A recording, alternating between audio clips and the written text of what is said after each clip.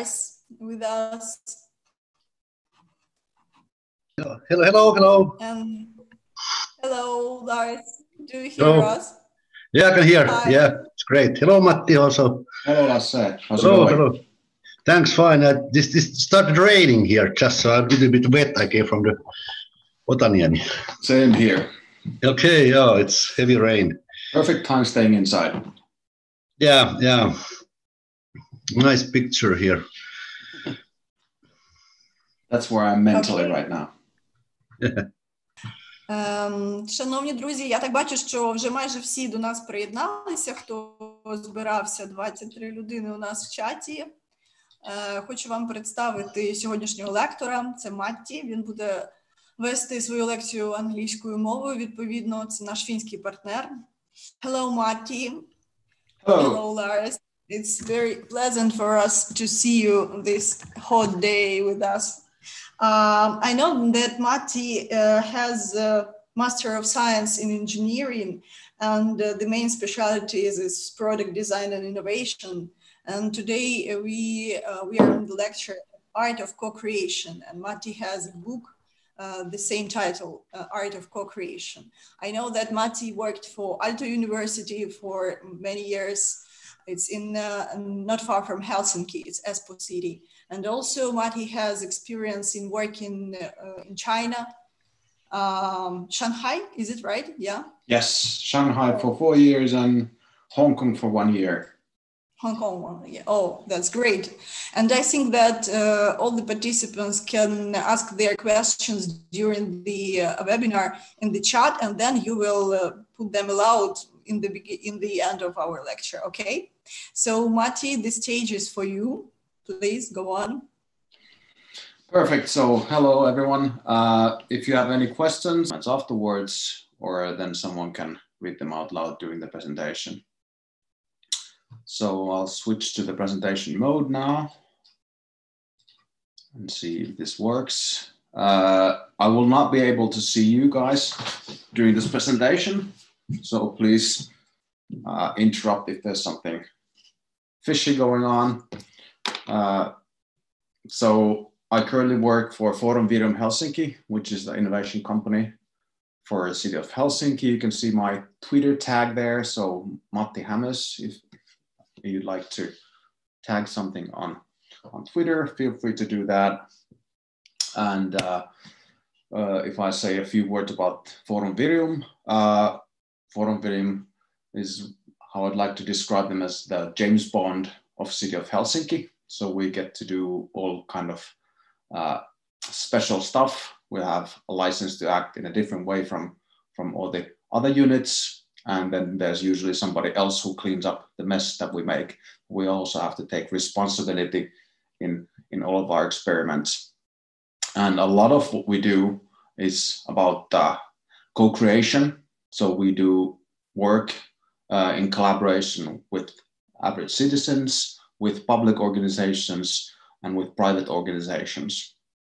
And uh, uh, the secret to being successful in developing cities, uh, in developing new practices, is in bringing different type of persons with different interests together. And uh, that brings us to the topic of, of this session. So the art of co-creation. Uh, the brief agenda for today is here. So, so I'll go through four different points. Uh, first one being description of what we call the co-creation journey. It's a journey starting uh, from somewhere and uh, like in a in a narrative, uh, in a story uh, during a journey, the team evolves. So they go through different hardships and they eventually, uh, hopefully, uh, in the end, they become successful. So, uh, an illustration of, of this journey you can see in the background. Uh, then I will address the issue of diversity in teams. So, what reason and what kind of function there are for diversities in team. Uh, then I will tell you a couple of examples how to deal with this diversity so that it's as beneficial for the co-creation team as possible. And finally, I will give a very kind of engineering simplified description of uh, what the art of co-creation is in practice. To start with, uh, this is uh, the illustration for, for the journey of co-creation. So starting from the left, uh, when a new team sets on a mission of co-creation, they want to design or innovate something, uh, they start from, from the interface or from the surface between known and the unknown. So first they start exploring what is known. They share uh, with each other what they know about different fields. The engineers tell about so their uh, field of expertise to the sociologists, to the psychologists, to the designers, uh, until the team has reached the peak of the known. So the point where where they have to start digging deeper into so- something uh, that is the unexplored territory or the unknown. At that point, they will the journey turns into a dive. So they will go down into the unknown, and that will radically change the whole dynamic of, of this journey. Uh, there is the element of uncertainty that will create a lot of tension within the team, and it requires the team to really pull closely together, start performing really well together in order for them to turn the curve upwards again. And after they have discovered something new at the unknown, uh, and after they have come together as a team, so after their performance as a team is good enough, they will start climbing again, creating something new in the end, uh, reaching a level that was not possible before. So, in brief, this is the co creation journey. Uh, you can see at the bottom uh, that we have called these three stages of this uh, journey is the, the known uh, or the climb. Uh, then the second stage is the unknown, which I've, i also call the, the dive, and then the new or the rise. So where where there's something novel coming out as a result of this co-creative team effort. So breaking down a bit uh, this two-fold issue, uh, I'll now briefly describe what I mean by diversity. So diversity in a team uh, relates to basic human behavior, basic psychology, where uh, if somebody is asked to pick a team for themselves, whether this happens in a school or uh, in your company, what we human beings uh, naturally, uh, intuitively do is that we pick a friend, somebody who's very much alike of us, who is a colleague, who we are very similar with, to be our first teammates, and then maybe the second teammate would be someone who's who's again quite similar, has a similar background, about the same age, maybe the same sex. And this is how we behave if we are instructed to just form a team. Now, this type of a team where the team members are very similar with each other uh, is called a homogeneous team, meaning that there's uh, a lot of overlapping in the history or experience, in the discipline of knowledge and understanding between the team members. So each additional team member does not bring a lot that's new to the team.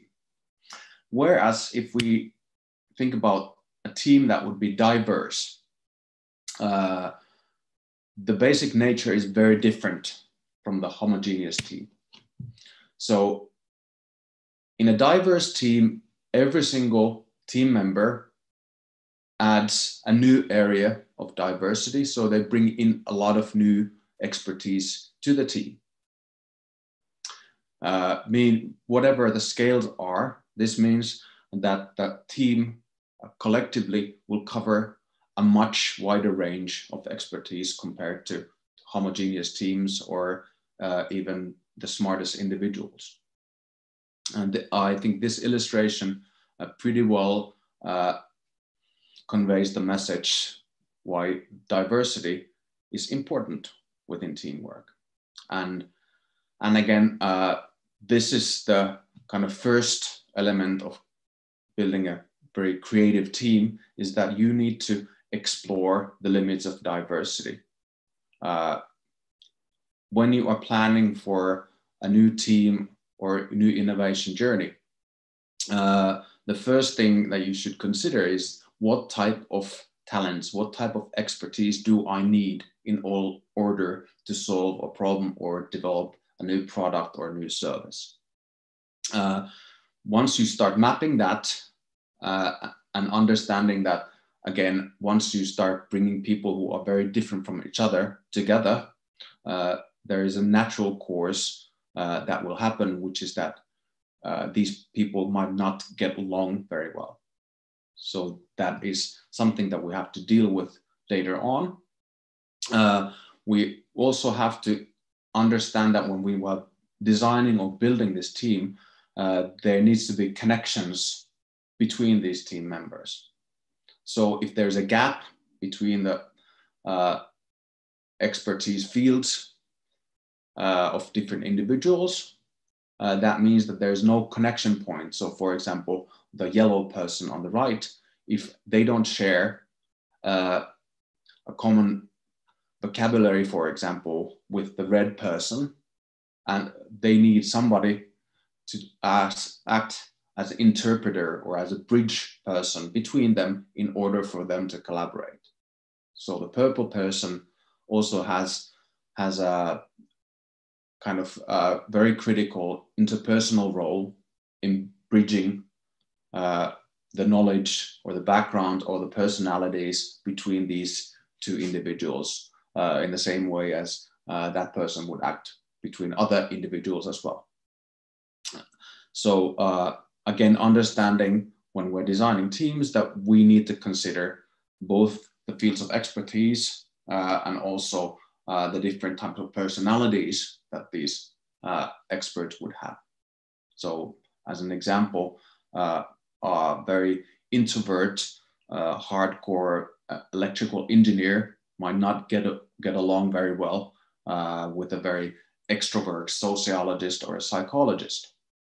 And, and if both of their uh, expertise are needed to perform really well, uh, then a team leader or team manager has to figure out how they can be either taught to work together so to get along in such a way that the team uh, performance is not compromised, or if the, the team uh, activities can be somehow split up in such a way that the, their performance can be complementing each other without them having to uh, conflict uh, with each other's personalities during the teamwork.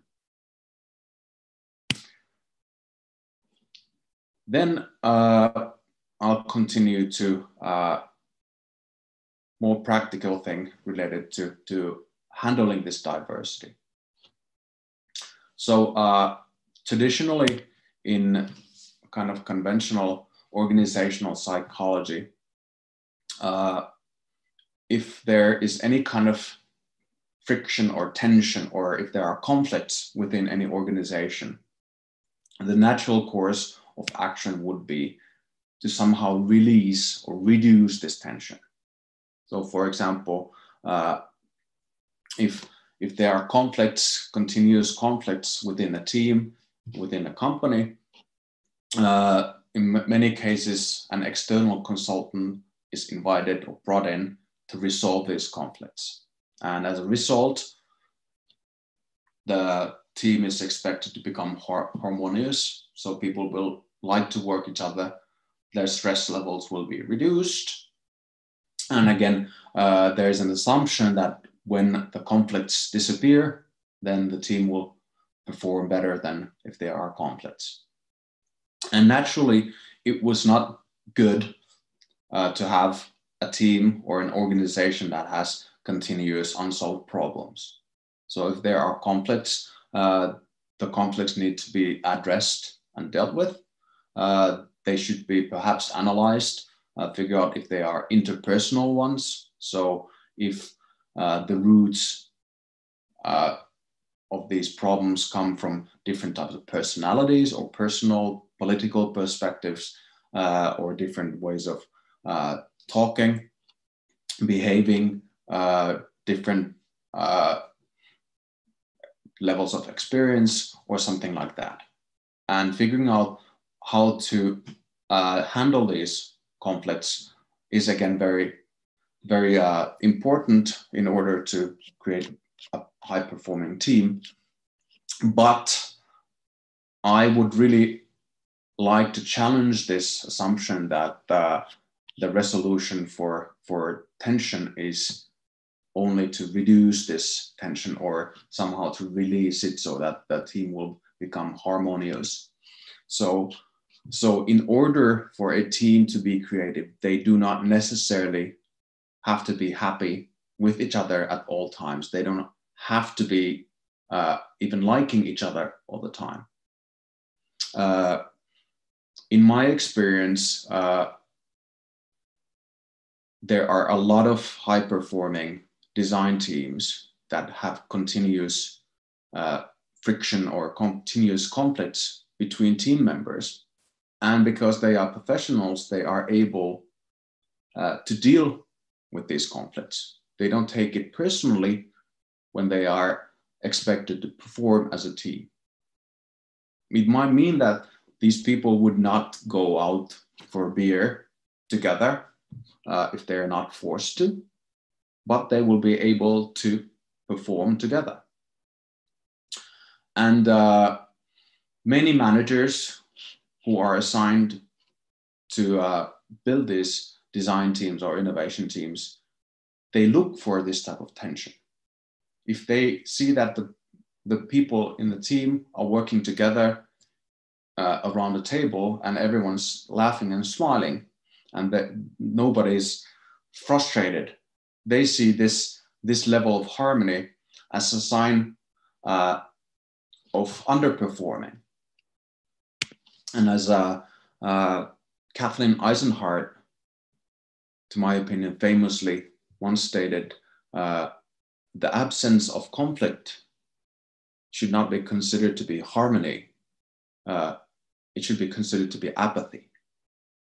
And if you reduce the conflicts too much, that also takes away all the tension and all of the energy within the team. So, in this sense, it would not be good if all of the team members are feeling only good at all the times. So, again, understanding uh, that, of course, there needs to be a balance between having conflicts and tension versus uh, enjoying your work and enjoying your team. But it's not uh, always good to be pushing towards one edge or the other one.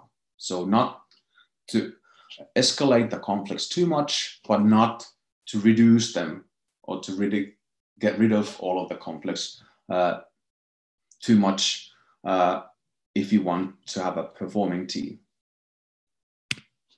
And again, coming back to this journey, uh, if you start breaking apart this co-creation journey uh, that the team performs together into uh, separate dimensions, uh, or as I've labeled them, three separate journeys, we, we can start understanding uh, in a little bit better way how this uh, different kind of dynamics and different kind of tensions occur during this trip.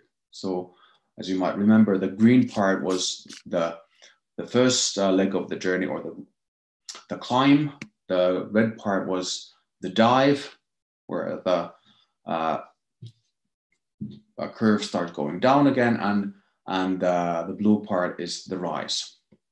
And if we think about uh, this kind of innovation or co-creation journey in the terms of knowledge or knowledge creation. Uh, I would say that the ultimate goal of this uh, journey is to increase the level of knowledge. So increase the understanding related to a specific topic. uh, this is something that I would very much like to discuss with uh, with you guys. Uh, so if you if you have a different opinion about the objective of of uh, innovation journey or innovation project, please, I would like to uh, to be challenged in this part. But if I see the knowledge as the ultimate objective, so you want to understand the problem and understand the possible solutions and understand what is impossible, then the journey curve looks pretty much like this. You start as a team at the bottom at kind of zero or basic level of knowledge. And during the trip you do some experiments. You uh, get knowledge through uh, surveys talking to people by building something through dialogue. And at the end you have reached a level which is high enough to solve the problem. What can be considered to be the driver for this knowledge increase uh, is the second journey or the second curve, uh, which we have labeled as the team dynamics or team performance. And why this uh, team dynamics uh, should be considered to be the driver for, for the knowledge is uh, because if the team is not performing well, they will not be able to generate new knowledge. So for that reason, uh, in this kind of general setting, if we look at the, what happens during this uh, co-creation journey, is that in the beginning, team members will have to become aware of what uh, other team members know. So they will have to learn the history, the background, the skills of their team members.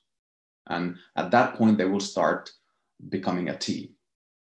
Once they learn what the others do, how they behave, they can start rehearsing their uh, team working skills. And at some point, when they have reached a level that's high enough, so they start uh, developing these collective capacities or team working skills, then they will also be able to start developing new knowledge. Part of that new knowledge can be developed within that team already. So again, uh, they, the team members can consult each other in such a way that the team members will bring in new ideas and uh, together they can elevate the level of knowledge.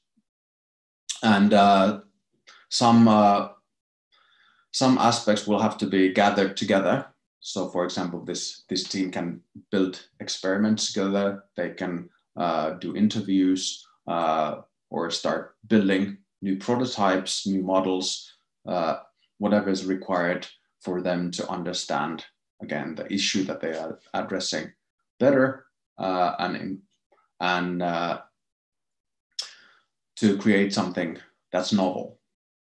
But fundamentally, uh, the knowledge does not increase if the team is not performing well. So they have to reach first the level uh, where they can work together. Otherwise, they will be just a bunch of individuals and the white curve or the knowledge curve will remain flat. Uh, then again, if we think about reality, uh, the journey does not always look like this. So in many cases, uh, there will be a high level of friction between individual team members, which means that the team might have to be pushed to produce something already early on within the process, even though the team members are not getting along really well. And again, this type of dynamic within, within the interpersonal relationships uh, in a team, this might really slow down the process. Uh, so the knowledge would not, in reality, uh, develop as fast. Uh, and at the same time, once the team will be able to uh, develop new knowledge, so they have reached a certain level of, of new knowledge, regardless of the conflicts, that will also improve uh, the interpersonal relationships and possibly uh, increase the performance of the team. So there might be a quick boost within that te- team because they have understood uh, that they can perform together and they don't like to have they don't have to like each other in order for them to reach uh, goals together and again that will be boosting the knowledge development to the level where where the team will be eventually able to reach their goals and again because these are really nice uh, well aligned illustrations uh, anyone who has been working in a diverse team would know that the development of the team is quite often not very subtle. So there might be stages where the team begins to work really well. And in the beginning, when there are when the team doesn't have very uh, big challenges, they just need to be developing their capacity together things will be going very, very well. So again, uh, everybody is feeling happy. They like each other's company. They appreciate each other until they find a point where they would have to be pushing harder. And at that point, the performance might start slowing or more quickly going down. And again, this uh, this is what the current leaders or managers of innovation teams should be able to deal with. So this, is uh, externally sudden, uh, but quite predictable uh, change in, in the performance of the team. So at the top point where the team is performing really well, there might be just a small incidents that will completely destroy the trust, for example, between the team members, which means that their performance will go down. And a good manager, a good leader will have to deal with this in such a way that the curve will start going upwards again so that the team can reach the expected level of, of performance. Okay, and coming back to the original kind of theoretical uh, model of team behavior, uh, we can then add a third curve, which is uh, not really part of today's uh, management literature in this way. So if we add the third journey or third curve, uh, which is the emotional journey, uh, then we have reached a very uh, high complexity level in the performance and in in the different types of uh, tensions of, of this innovation team. So if you look at how the red curve, the emotions and the team dynamics perform with each other, uh, the red curve often is truly the leader or the driver for any changes in the team dynamics. So, in a kind of optimal theoretical case, this is how a co creation journey would look like.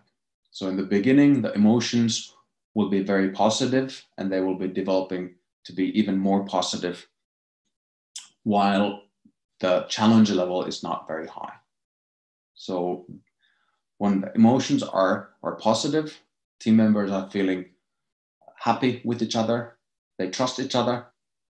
Uh, the team dynamics, so the blue line will also gradually start uh, increasing.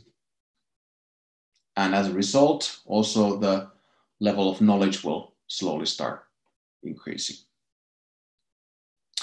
And this holds true only to the critical point of turn when the challenge becomes a bit higher than uh, the team can face with the existing knowledge.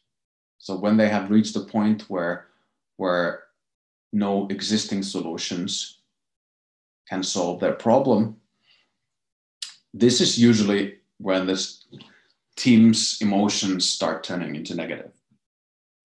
And again, from management perspective, this is a very critical point because this is where uh, the leaders should react in such a way that the performance of the team will not go down even if the emotions will turn into negative ones.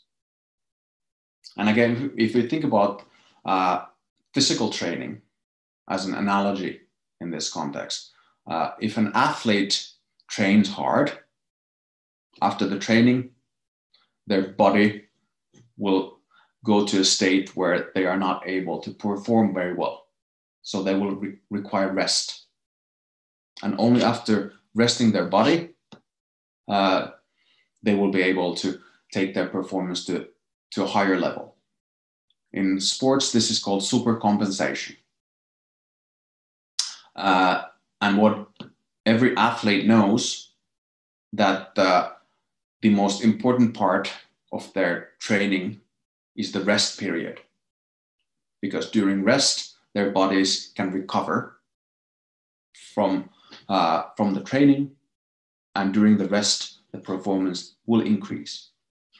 In a very similar way, uh, with, uh, with this type of team activities, uh, once the team has reached uh, the highest level of their performance, they will have to somehow switch into this uh, recovery mode.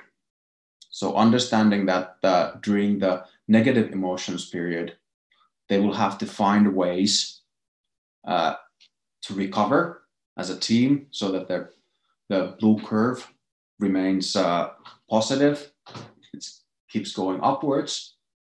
Uh, and at the same time, they will be producing some new knowledge so that the performance stays, stays positive. Uh, in most cases, uh, this doesn't happen so smoothly because the emotions can turn from positive to negative very quickly. Uh, especially with a new team where people do not trust each other very well. One sentence that is being said inappropriately or misinterpreted might create uh, some unresolvable conflicts, which will again bring the entire team down. And even if there is a, an attempt to correct these emotions, so to improve them, there might be a second drastic fall that will be following that one. So again, uh, this does not necessarily uh, surface as a, as a poor performance yet, but it will precede most definitely uh, weakening of the team dynamics. So the team will not be able to perform very well uh, if there are too many negative emotions between uh, the team members. Uh, and at the same time, if you look at the point where the blue curve starts going upwards again, uh, the team emotional state might be still pretty low. So again, good manager would be able to find some way for the team to to be uh, performing really well. So pulling themselves together again and uh, handling these negative emotions. Uh, and this might just require uh, for the team to uh, build new type of trust to each other, understanding that they are on a sh- shared mission, that they are not fighting against each other, but rather they they are trying to achieve something together, uh, so that they will uh, not be fighting against each other, not wasting their energy uh, to battling with the team members, but they will be somehow able to join their forces in in order to proceed towards a common goal. Uh, well, again, talking with this uh, abstract illustration, uh, I hope this makes sense so you can make connections to, to your own experience and uh, think about some points uh, where you have experienced these type of shifts in either emotional status within a team or in the performance status.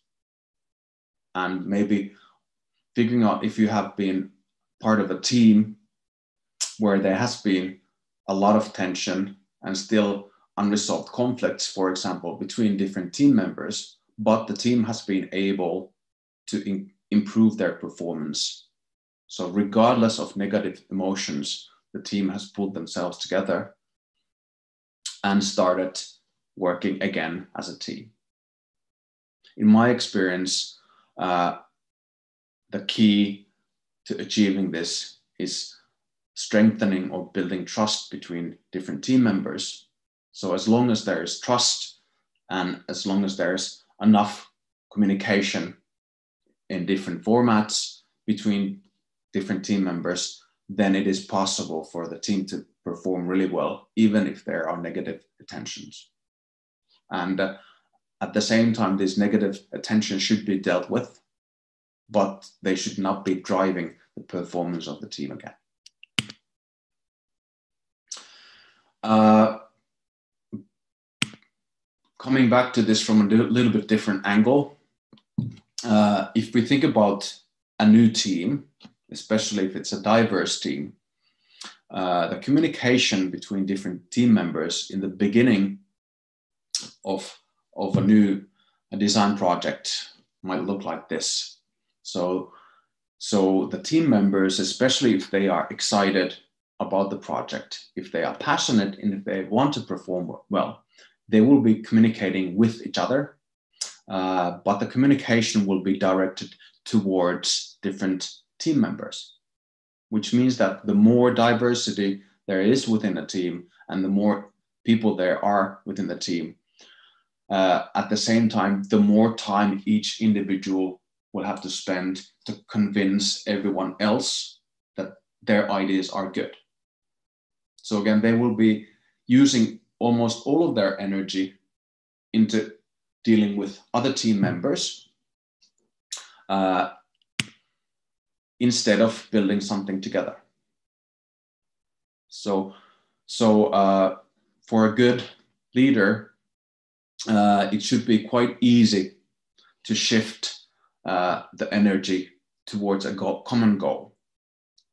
And if you have been performing uh, in a creative or design team that has gone through this this kind of uh, uh, journey where there is clear shift in in dynamics, uh, then you might be able to very specifically identify a point where the dynamics of the team has gone from the left side, so from uh, dealing with individuals and trying to raise your voice so that everybody else would hear you better and agree with you towards not talking against other people but uh, towards a common goal. So so this uh, alignment of efforts would be a state of performance where the efforts of each individual is uh, shifted from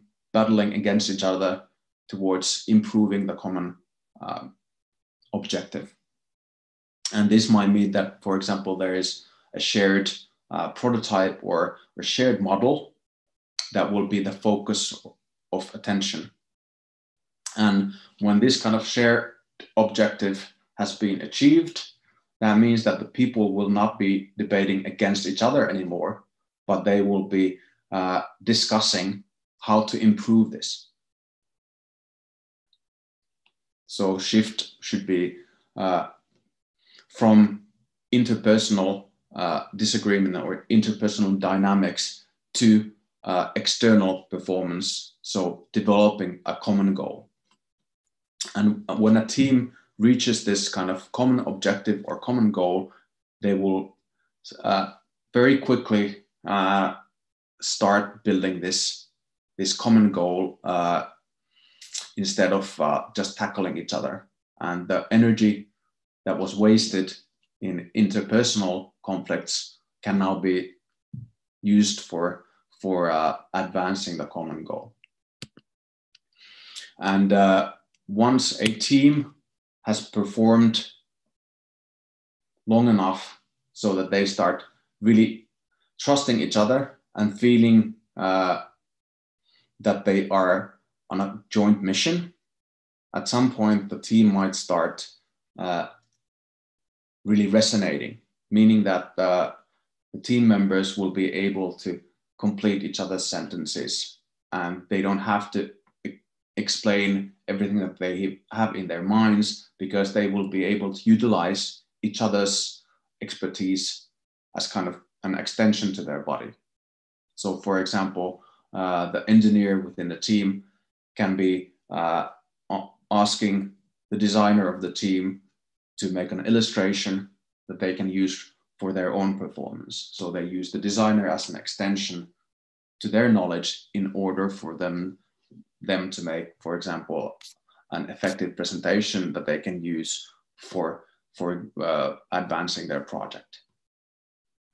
So again, this uh, this is the state where the team is performing really well, and they are not uh, fighting for their own individual goals or or trying to uh, make sure that they're not making mistakes anymore. But they collectively will work as a team, and within this kind of context, uh, often when when the team comes up with a new idea, uh, it is very difficult to state afterwards who came up with the idea because that was a collective effort. And again, it will take a very long time for the team to reach this level where they are really performing collectively.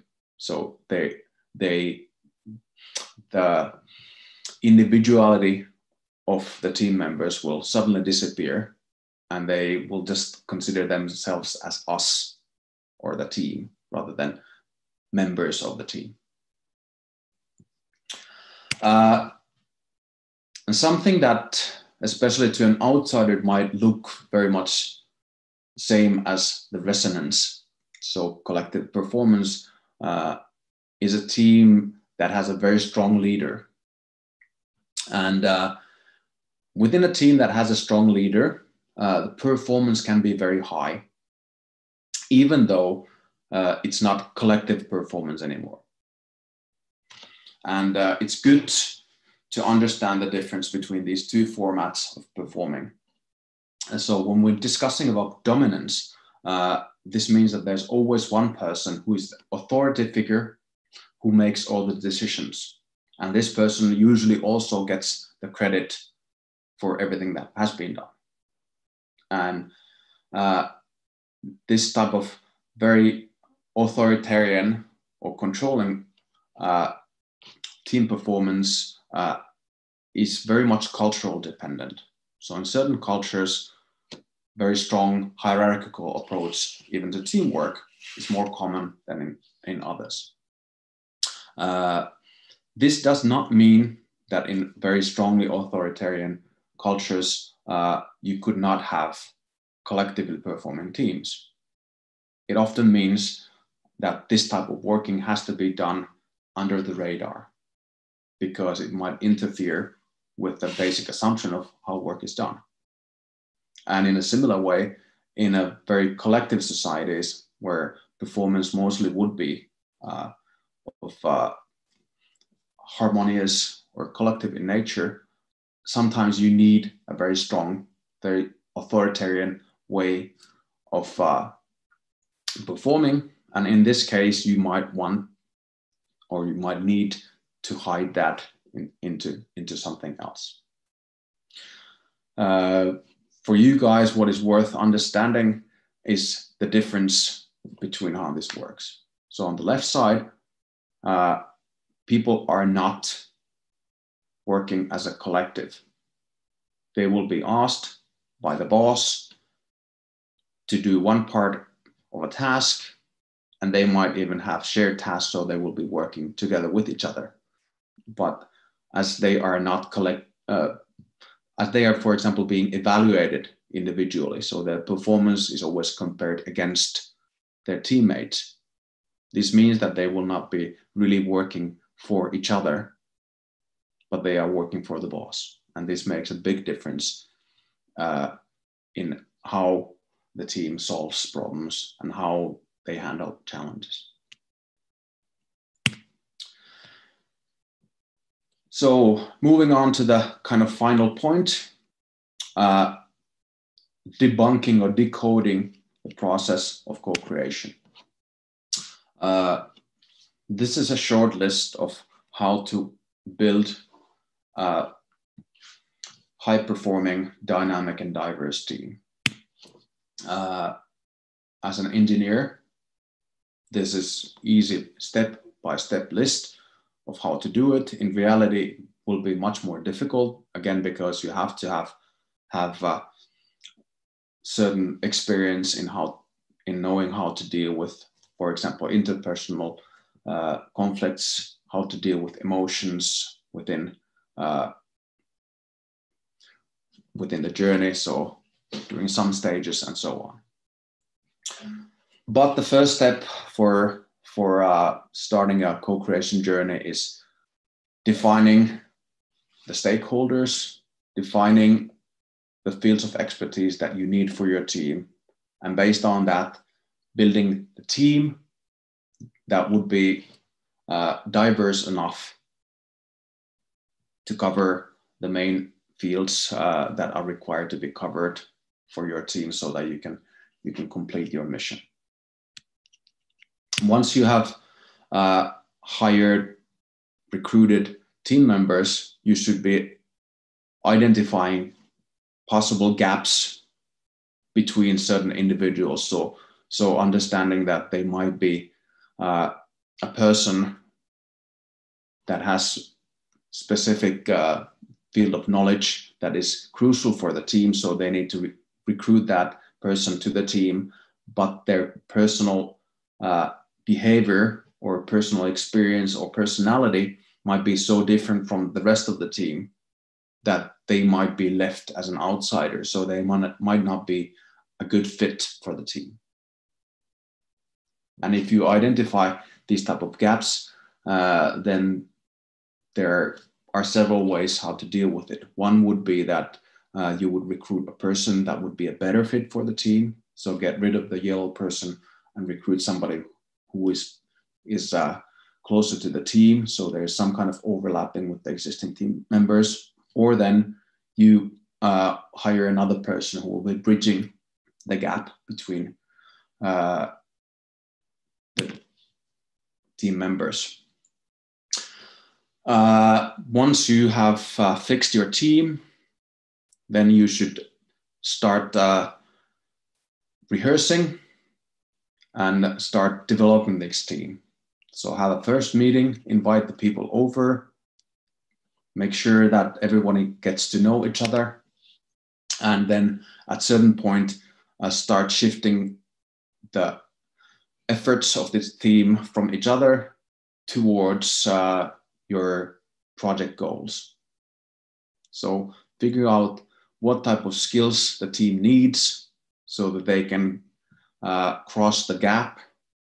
So, so get uh, over the dive as smoothly as possible so that they are strong enough to stay together as a team so that the most likely upcoming interpersonal conflicts will not break the team apart which means that you will be rehearsing certain type of team working skills what they are uh, that's up to you. As long as you understand the importance of, of uh, rehearsing uh, team working skills together. So again, these type of skills you cannot train individually. You have to have the entire team there. And with that team, you should be figuring out what kind of exercises you can do, uh, hopefully in a way that will be also uh, advancing your project goals uh, but the main objective of those exercises would be to improve the team performance skills, team working skills, so that when the emotions start turning into negative and when uh, there's possibility of major conflicts, which would be reducing the team performance, uh, at that time, the team will be remaining strong and they will be able to perform. So preparing the team for challenges uh, this might take a while. Uh, at the same time, you should be making sure that all of the team members are sharing what they have with each other. So sharing their knowledge with each other uh, so that everybody else knows how to utilize your field of expertise.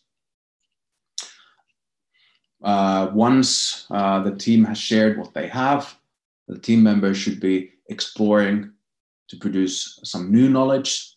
So, so again, combining what they have and do, maybe doing some experiments in order to figure out again something that hasn't been tried before.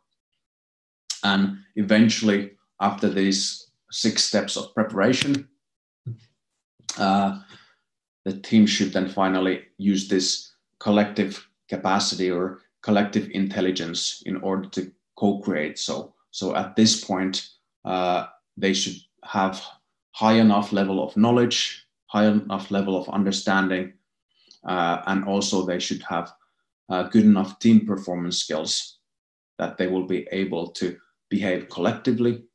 Uh, they are a brain consisting of five or seven team members, and with this collective brain, they can solve the problems that have been set in front of them. Uh, and from co-creation dynamics perspective, uh, this is kind of uh, the process for for creating a high performing team.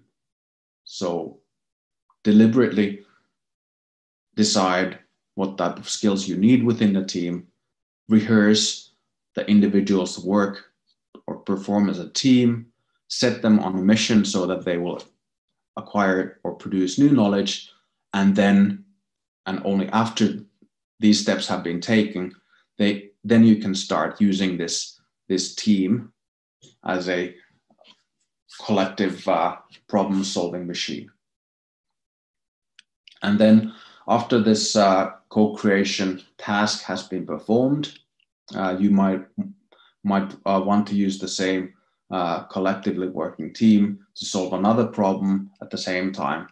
But what is important is also to record and document all of the results that the team comes up with, even the ones that might not be useful at this time, but they should be put down uh, in the same way as, as the uh, problems that they have discovered or, or the issues that they have dealt with in order for, for the team and for the organization to avoid going through the same problems again and in order for them to be able to start building on some discoveries that the, the team has made.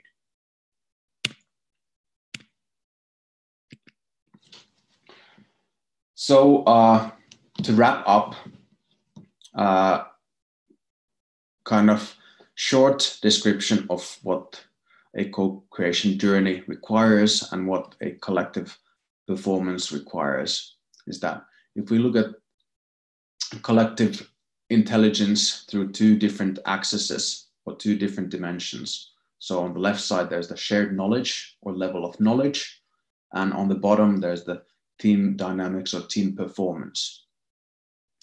Uh, the team should develop their knowledge, so increase their understanding of the topic, and they should do it as a team.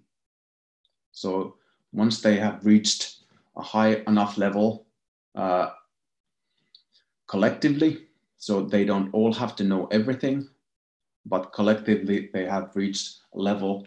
Uh, then they will need to require, uh, sorry, uh, increase their team performance uh, so that they they can uh, utilize this collective knowledge. Uh, and uh, if a team has reached both these goals, so they have been able to increase their knowledge or created some new knowledge, and at the same time they have discovered ways of performing as a team. If all goes well, they have reached this sweet spot of collective intelligence. And uh, it might not last for a very long time. So this team might be able to maybe perform using, this collective intelligence for only a few days or a few weeks. Uh, and then the team might be required to be broken apart and set on a different mission. But the performance at this point is uh, really groundbreaking. So if you have a team and with that team you are able to reach this level of co collective intelligence, uh, that means that uh, you will be able to resolve problems that did not even exist. Uh, I would love to share some examples of, of how this has happened in, in uh, industry, uh, but that might take a bit too much time. So I decided not to include these concrete examples uh, for this set. I can discuss them later on uh, and I can share some, uh, some slides and examples of uh, collective performance from industry with you guys if you are interested. thank you for listening through. Uh, if you are interested in more details related to this co-creation journey, uh, please check our book, The Art of Co-Creation uh, from 2018. So it was published two years ago. And uh, now I'll open the floor to questions and comments.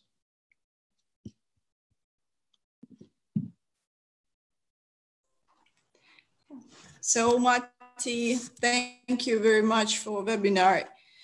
And uh, yes, we have questions. Uh, can you open the chat right now? Yes, I can open it. Because there are a lot of, yeah. uh, the first comment was from Konstantin Romanov about the sea, that it, it is painful to watch the sea when you're staying at home. I understand. Oh, yeah. Andrei Machinboroda, are you here? Yeah, I'm here. Okay, can you read your questions? Yeah, thank you.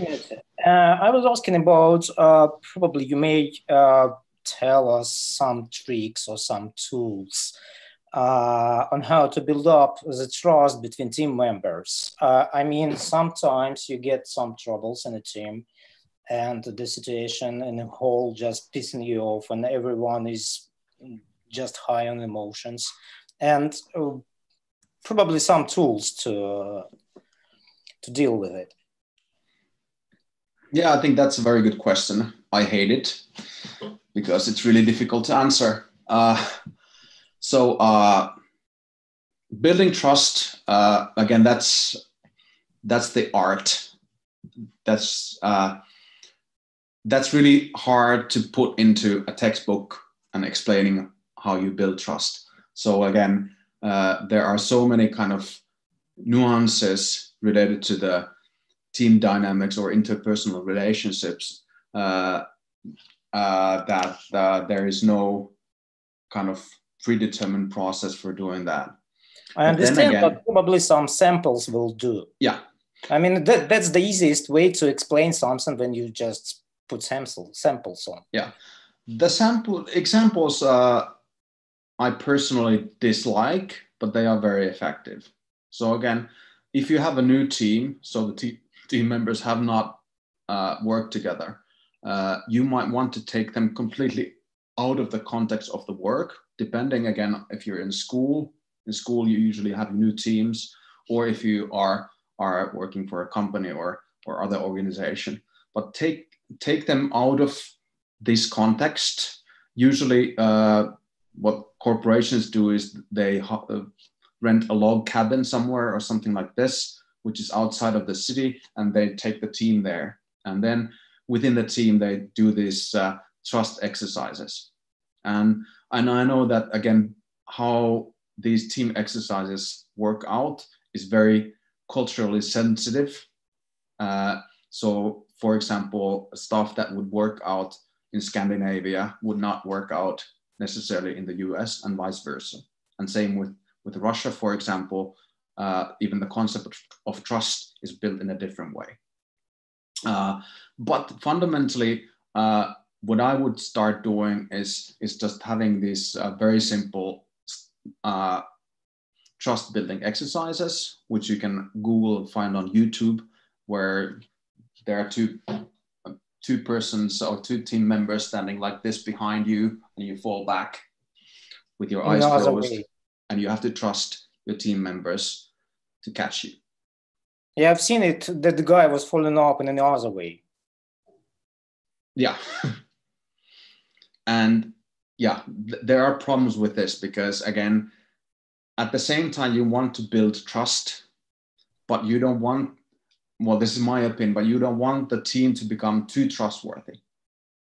So if if everybody is too harmonious with each other, so if they trust each other too much, uh, and for example, if I would be catching that person, I might, if not let, if I, well, I probably wouldn't let them go fall on the ground, but I might just do this so that they think that they are falling on the ground because I like keeping up tension. I I like making bad jokes, and in a team where I would be one member, most likely there will be a lot of jokes and a lot of tension, and there will be people who hate me yeah, same with me. Yeah. And again, that's that's where it becomes tricky. So, but just that doing trust exercises like that will uh, prepare the team to be again uh, reducing the conflicts uh, so that they will be liking each other they will be trusting. Uh, but it seems uh, too childish? Yes. Thank you for saying people. that yeah? Because yeah. that can be a barrier that you cannot uh, overwhelm when you think it's too childish i want to take part i don't want to take part in it and just well it, it won't work. Yeah that's a good point and that's why i don't like them uh, then again for this uh, there's a good reason for doing it outside the city in a log cabin because that also will definitely improve the team dynamics or interpersonal relationships. Because if you are the leader of this team and you you say that okay we will do it here because there's no one to see it and everybody has to swear pinky swear or what whatever you want to do everybody has to swear that you will not tell anyone outside of this team about what has happened here this will again increase the level of trust you have to trust each other that you don't share about stuff that happened there. And then a leader, well, a smart leader would prepare this beforehand so that this leader would train two people to be really catching them when they fall. But a leader would perform first, show how this is done, and kind of losing their face at the same time, saying that, okay, this is ridiculous stuff. And I don't want to do it, but it's important. And that's why even I will do it and how to create also this this kind of atmosphere where people can uh, take each other as persons rather than uh, as the boss as, as a colleague that's also something that's important uh, this is something that i've uh, personally not so uh, intentionally but i've done so for example as you can maybe see i i like wearing hawaiian shirts and I have a really funny beard. Yeah, that's that's good beard. Yeah. Yeah, I'm not sure. It works out for me because if I would look like a regular mechanical engineer wearing a, a striped shirt and a, and a club jacket, people would respond to me in a completely different way compared to me doing this. And I mean, I have pinstripe suits in the in the closet. I do wear those occasionally, but I know that this appearance will have a different impact. Being so for stripes, so. pinstripe. Ah, yes. oh, okay. Yeah, okay. So Can you show it? Uh, I'd have to take. no, no, no I'm joking. I'm joking. Sorry. But I, I do have it. I don't wear it in public. I would lose my reputation. Yeah. But again, uh, kind of making making sure that, for example, if you go, if you are the leader of the team, uh, you go out there and you normally wear your jacket then you kind of ritualistically take off the jacket and make everyone aware of that and say that okay now for this weekend or now for these two days, I will not be wearing my tie and my jacket. So I'm out of my boss role. And then after those childish exercises have been completed, then you put on your tie and your jacket again, and then you are the boss again. So this is something that will work out. And again, that's pushing you above a limit. Uh, well, for me, it's much easier now because I've crossed so many limits personally already. But again, that will create also trust towards you. So you you are willing to go outside of your comfort zone, make yourself look ridiculous, okay. and then you have to again pink and swear or I don't know make a blood oath or something like that to make sure that what happens inside the cabin stays inside the cabin. Okay, thank you. Yeah, and personally, yeah, I, I hate those type of exercises, but sometimes that's really something that you must do. Uh, and it doesn't have to take place in the beginning. So I might wait for a few months so that the people get to know each other already before they go there. And uh, being from up north, what really eases up in the in the process of building trust is in Finland that would be beer. In Russia, I believe that would be vodka. But uh, it's Ukraine. Yeah, it's Ukraine. It's gonna be beer as well, I guess. Okay.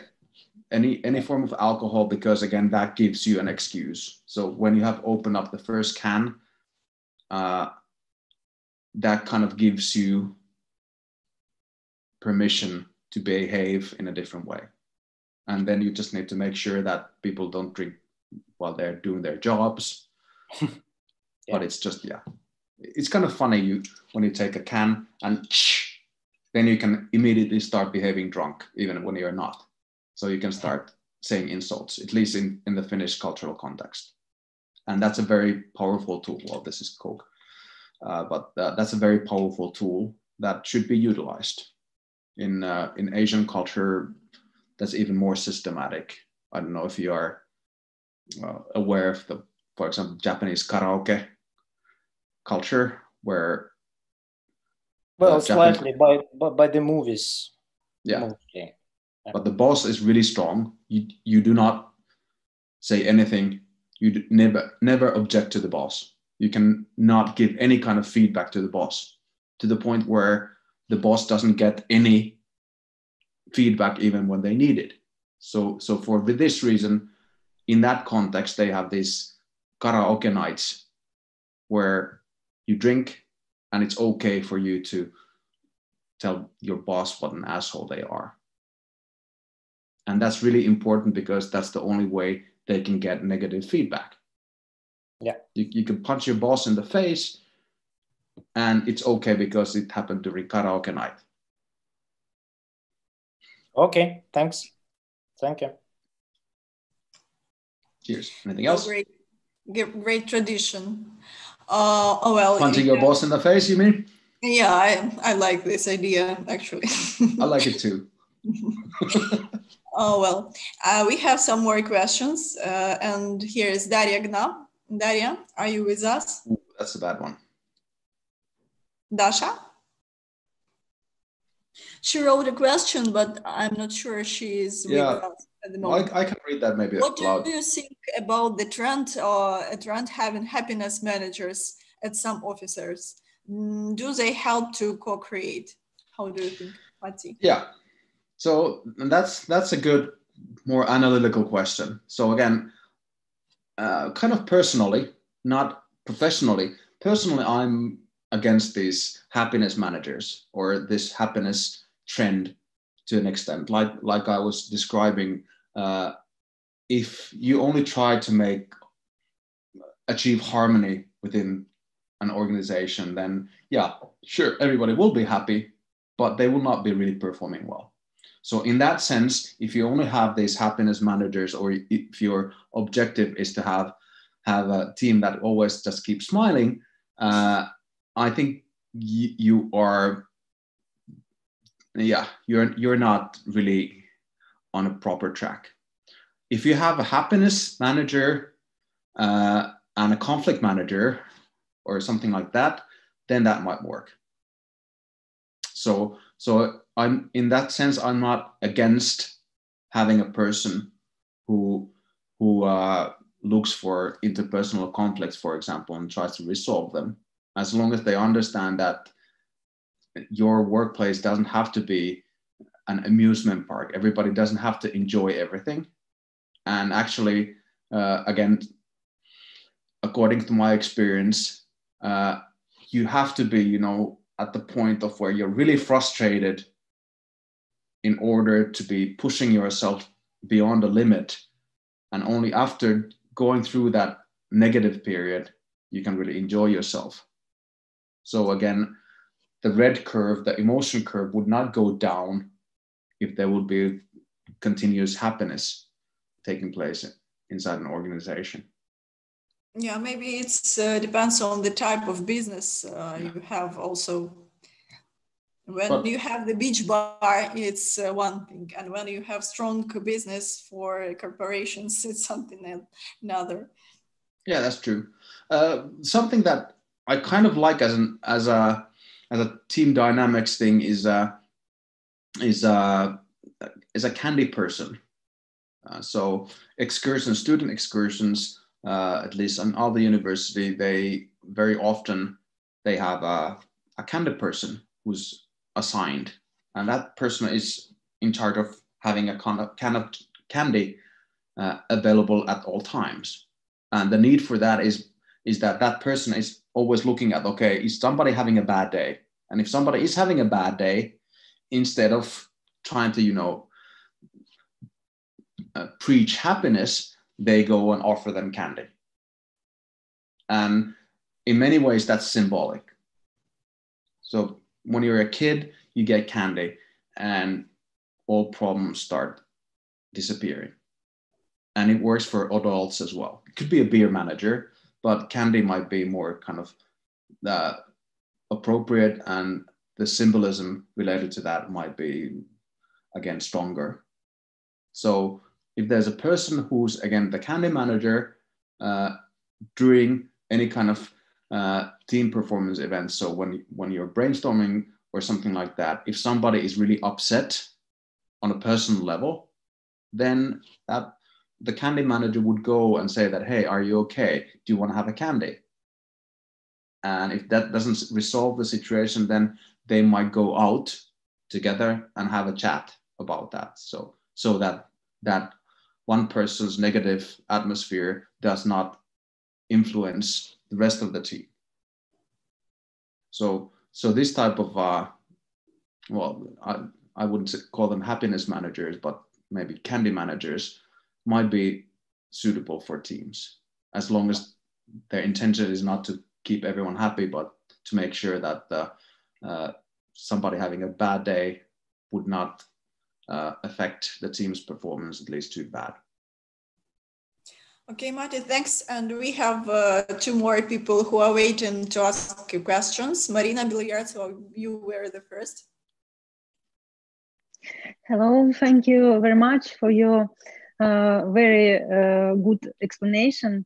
Uh, but I would like to ask you, uh, what is uh, your advice Uh, when we start to work in team? Uh, how we need to start uh, share no knowledge. if we need to, discuss some rules or probably make some frames, what do you think about it? Uh, again, very good question. So, so theoretically explaining this is quite easy. Saying that there's a step called sharing knowledge. Uh, in practice, it's it's very different, at least uh, in the teams that I've been leading. So uh, first of all, if you're a manager or facilitator or leader of this type of team, I would kind of uh, plan the journey in such a way that there's, you know, the visible or transparent or official version of the steps that you're taking, and then there's your manager's list. So you have different kind of hidden goals or hidden objectives for each step, and uh, sharing knowledge would be on this kind of hidden list. Uh, and this means that, for example, it would be really dumb, like uh, with a with the previous question. So uh, so how to improve uh, or how to build trust within the team. I would not call a trust building exercise a trust building exercise. I would dis- disguise it as something else. So disguise it as a fun activity because again, trust building exercises are dumb. Same goes for knowledge sharing.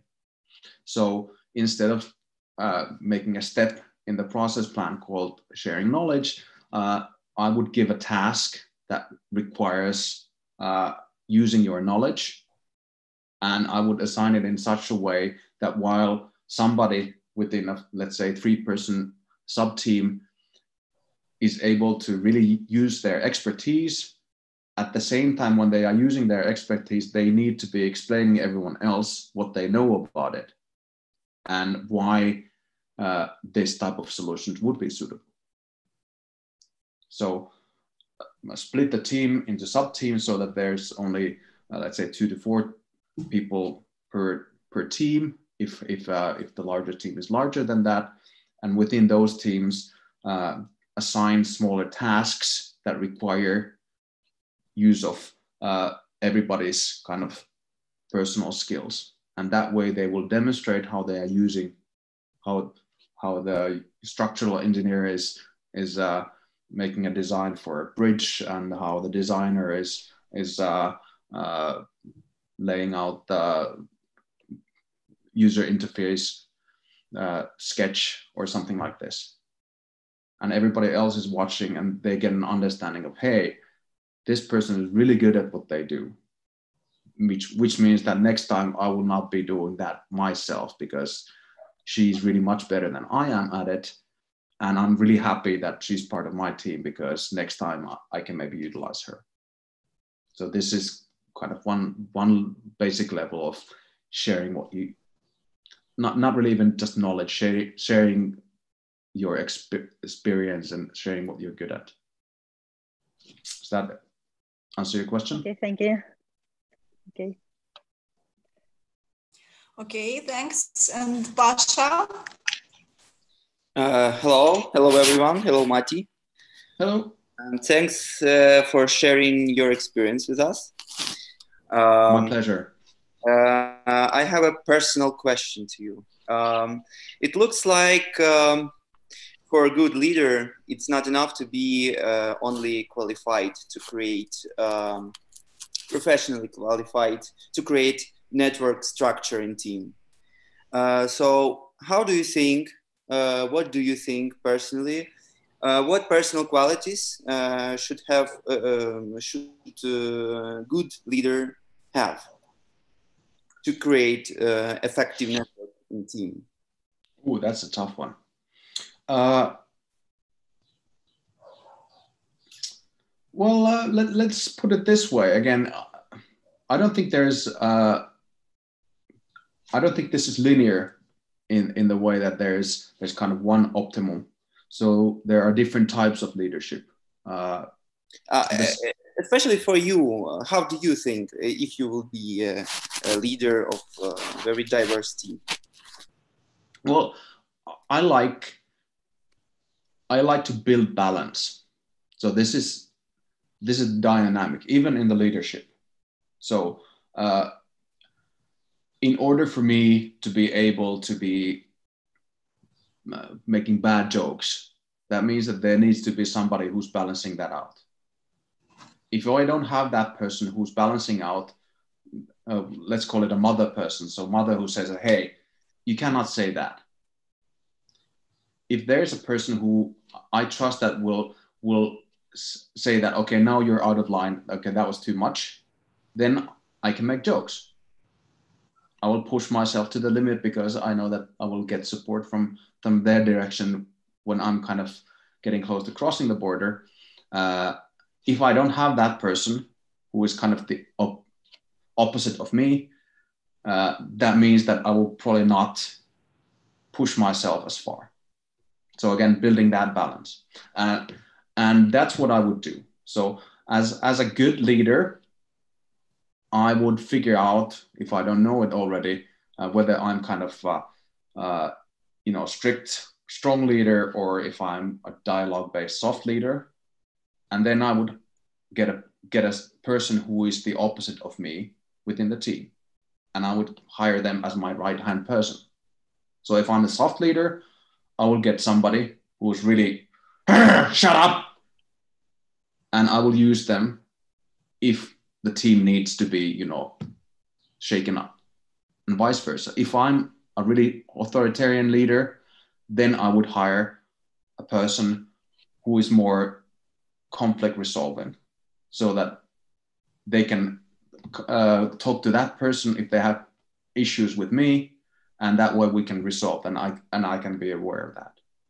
So uh, well i like ice hockey uh, and uh, sports analogies. So in my experience again uh, teams have one uh, head coach but nowadays uh, almost all of the high performing teams they actually have two goals that work very closely together and their dynamic is what matters.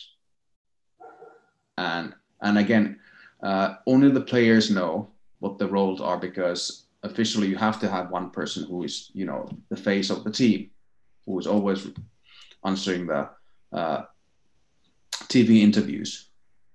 But what i'm interested is looking at the second coach because uh, the, the uh, tension or the dynamics between these two should be built in such a way that they complement each other. So they are not same type of persons. If you have two hard leaders, again, they are not adding anything to, to the management. If they are two soft leaders, same thing. So in my case, I mean, I might I might take a different role. So in some cases, if if the second person or if I'm the second person, uh, then well, will be like I mentioned, I will be make, uh, wearing the pinstripe jacket, so that there can be somebody else who's wearing a Hawaiian shirt and vice versa. Uh, uh, it looks like it's about mental power. Uh, not if you wanna, uh, if you would not if you don't want to be uh, a uh, like hard leader, you have to be uh, uh, much powerful mentally to share your responsibility and to to find people which can respond and give feedback to you. Yeah, I think that's that's also also true in the sense, and I mean, I like hard leaders and I like soft leaders. Uh, the former CEO of, of uh, Kone, the elevator company, Matti Alahuhta, he, he said when he was asked about something related to which is better, hard leadership or soft leadership, he said that uh, after thinking for a minute, he said that, well, you know, the two far ends of leadership are not strong leadership versus weak leadership or soft leadership. The far end should be good versus bad leadership.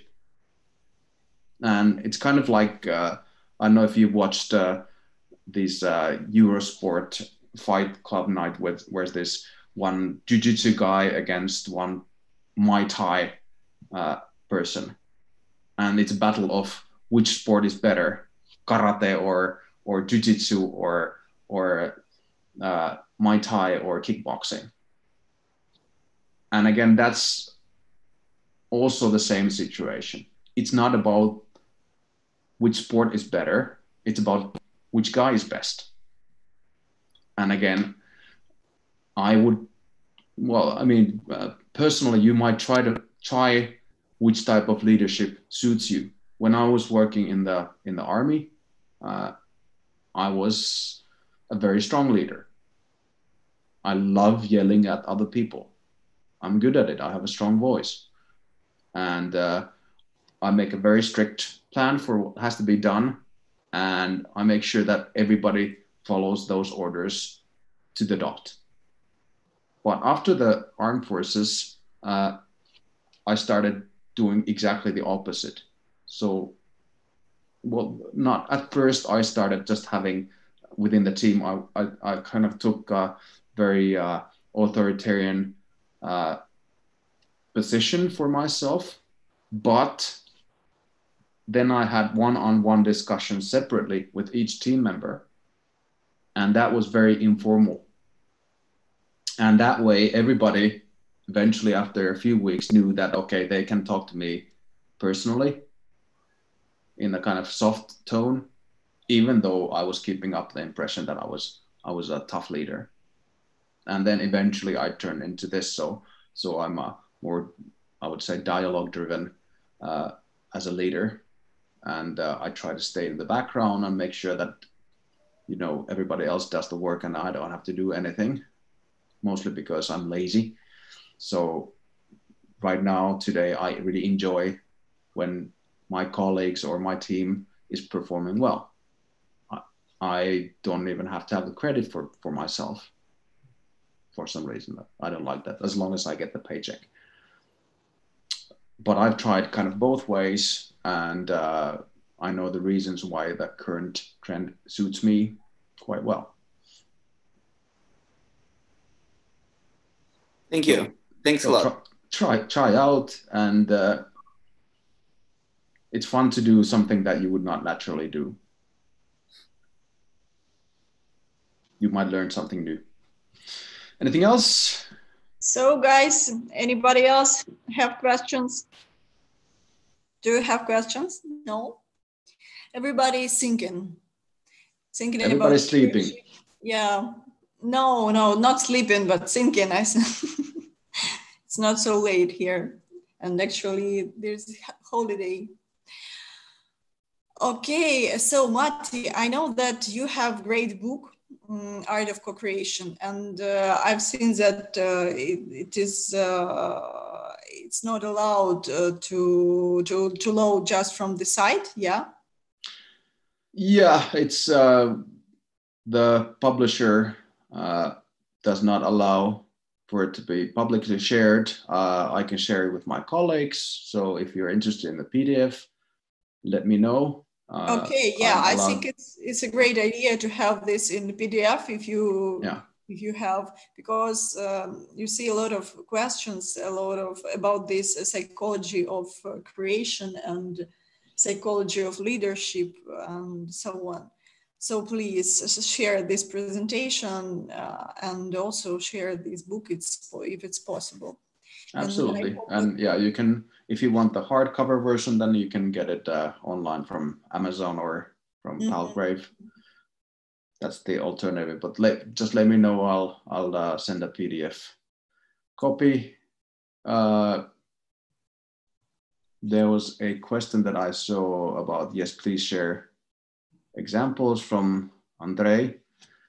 Uh, if that was about the performance of uh, that was something on the end of the uh, of your speech.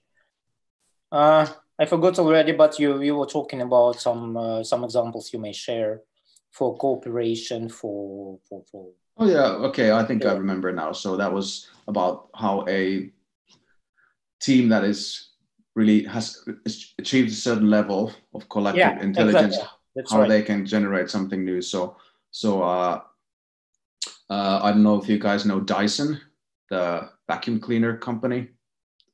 I don't have slides currently for that, but uh, Dyson spent more than 20 years, James Dyson, developing the best vacuum cleaner on the planet. So they they spent insanely long period and an insane amount of money developing a product that was just a vacuum cleaner that everybody has. So it shouldn't be that high tech.